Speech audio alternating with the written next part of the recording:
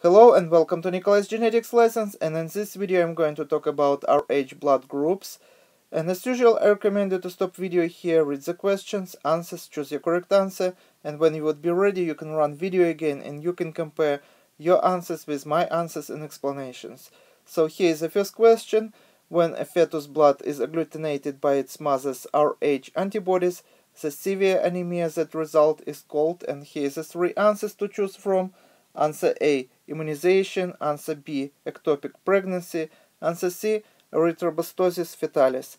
So, actually fetus blood agglutinated as a result of immunization of mother uh, by Rh positive antigens that can be found on the red blood cells of the fetus.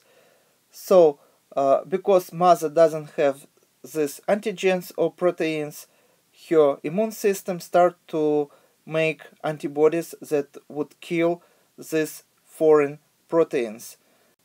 So organism of the mother would behave the same way as if this would be proteins of the, for example, bacteria or virus.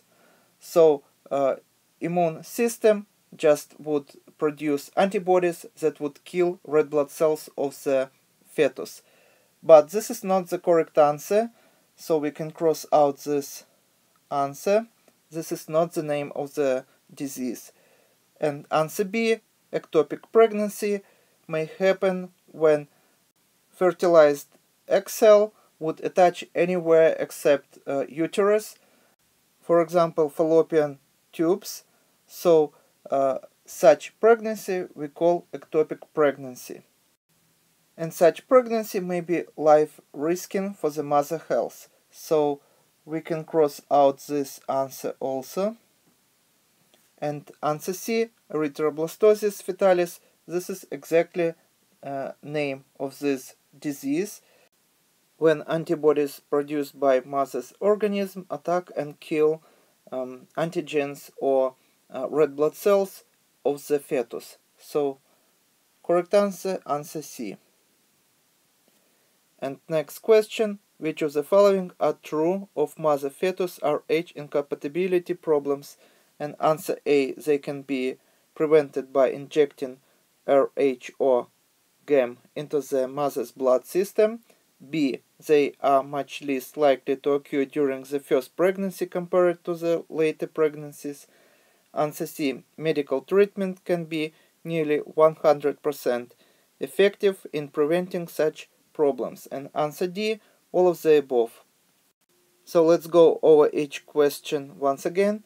Uh, answer A they can be prevented by injecting RH0 or GAM into the mother's blood system and this is uh, this abbreviation uh, stands for the uh, antibodies and these antibodies would be produced by people who is uh, Rh negative, that means uh, who is homozygous negative, and uh, so genotype would be uh, Rh uh, minus Rh minus, and when such a person would get a little bit of uh, blood of Rh positive person, uh, immune system of such person would start to produce antibodies and uh, if we'll take these antibodies and would inject into the um, blood system of the pregnant female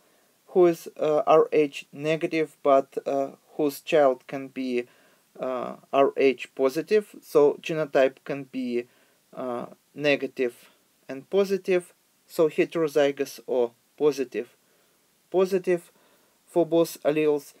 So in such case, pregnant female would have uh, antibodies that would kill uh, antigens or red blood cells of the uh, fetus if uh, such uh, uh, blood cells would penetrate mother's blood system. But what is important that if I draw a line here, so this would be mother side on the left and fetus side, two variants on the right. So if uh, such uh, antigens would penetrate in her blood system, uh, antibodies that already um, were injected in uh, blood system of the mother would kill such antigens, but immune system of the mother wouldn't be triggered because uh, antibodies is already were injected in her blood system and small quantities of these antigens from fetus would be uh, eliminated by this long uh, lasting antibodies in uh, blood system of the mother. So mother wouldn't become sensitized for these uh, antigens.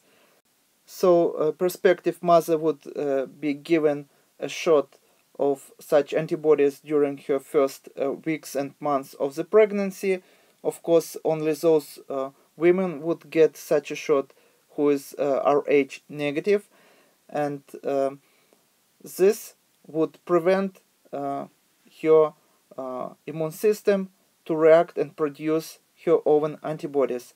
And the second shot she would get after the delivery, right after the delivery, because uh, during delivery, um, small quantities of the blood of the fetus may also get in the blood system of the mother.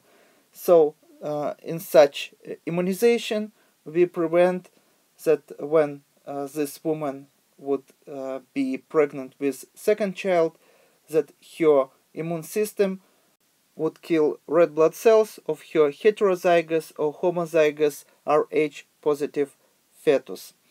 So uh, this is correct answer. And answer B, they are much less likely to occur during the first pregnancy compared to later pregnancies. And as I already explained, yes, such sensitization usually happens during first pregnancy or after delivery, and second pregnancy usually uh, in danger of being rejected by uh, immune system of the mother if uh, of course fetus would be Rh positive. So this is also correct answer and we can circle it. And answer C medical treatment can be nearly 100% effective in preventing such problems.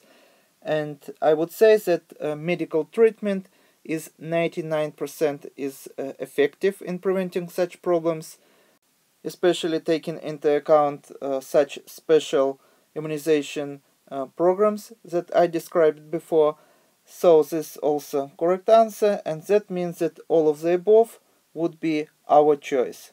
So correct answer would be D, all of the above. And this is all for today. Thank you for attention. Please subscribe for my new videos that I post almost every day. Thumbs up if you like this video. Please write your comments, questions if you have any. And see you in the next video. Goodbye.